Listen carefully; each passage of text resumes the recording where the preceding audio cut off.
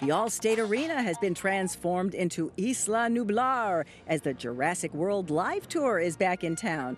The show features more than two dozen animatronic and puppeteer controlled life size dinosaurs, special effects, and a gyrosphere. It runs through Sunday. Halloween is barely a memory, but Macy's on State Street is ready for Christmas. The animated holiday windows are back today, along with the great tree lighting in the Walnut Room. That's today at 11:15, and of course Santa will be making visits to Macy's beginning today through December 24th by reservation only. And as long as we're talking about the holidays, how about some early shopping at the Antiques and Modernism Show? It's back at the Community House in Winnetka through tomorrow with everything from home furnishings and accessories to artwork, clothing, and jewelry from dozens of dealers throughout the country. Here's an eco-friendly way to put Halloween in the rear. The first ever Pumpkin Smash Festival. It's today in Andersonville. Here's how it works. You bring your jack-o'-lantern here instead of throwing it in the garbage where it ends up in a landfill. Then you take the sledgehammer and you smash it to smithereens. Smash it. Yeah, smash that thing. and they turn it into compost. Waste Not is the company. They take care of it. There is also live entertainment and food vendors here as well. For a different type of beer fest, check out the Festival of Wood and Barrel Aged Beer at Credit Union One Arena on South Racine.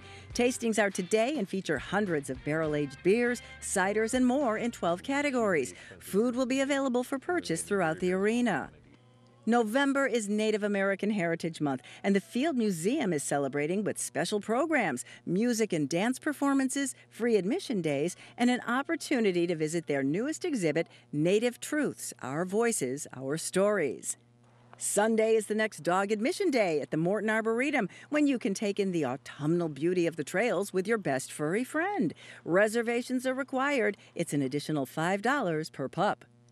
On the film beat, the Chicago International Children's Film Festival is now underway with screenings at Facets on West Fullerton.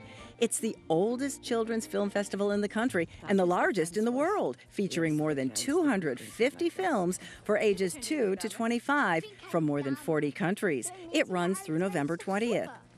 On the theater beat, the 20 Sided Tavern is the newest interactive offering now in performance at the Broadway Playhouse at Water Tower Place.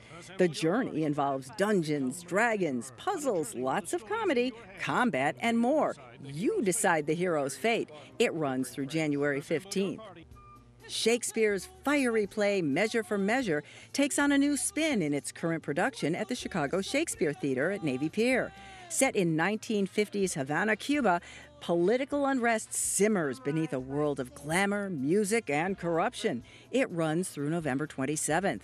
Have a great weekend, everybody. Roz Varon, ABC 7 Eyewitness News. Hey, if you like that video, be sure to subscribe to our ABC 7 Chicago YouTube channel.